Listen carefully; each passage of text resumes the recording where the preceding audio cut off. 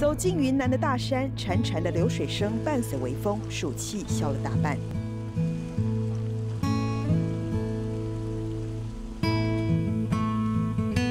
但山里居民的生活却不像眼前景致这样美丽。职工想要拜访李家，光走山路就耗费了半个多小时。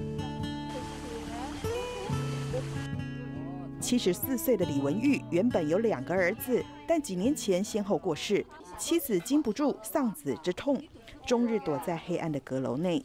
职工来访探视开解，也希望给二老支持的力量。他年纪大了，他走不过来的话，就让我们代表他送这份祝福，送这份关心。所以你看，今天我们就来到你们家来这坐坐。山里头家户距离隔得远，职工要探访下一户，又是一番跋山涉水。工作吗？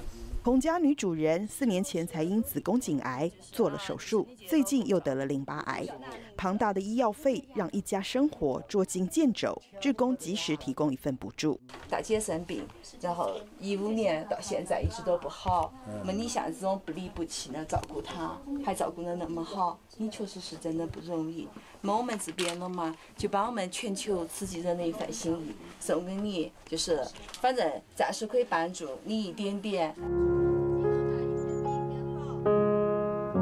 年轻人为了挣钱讨生活，离开了家乡，因此山里住的几乎都是老人家。奶奶，八十八岁的李文科和生病的妻子天天四眼相对，眼神充满茫然。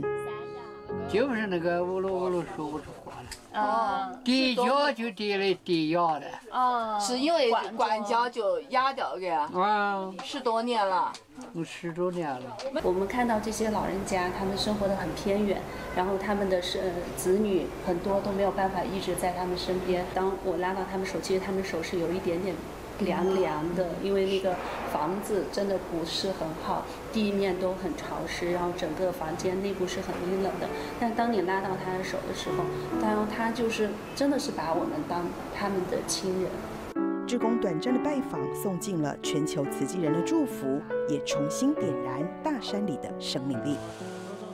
台新闻，真善美志工李蕊，游村县云南报道。慈济大学的校。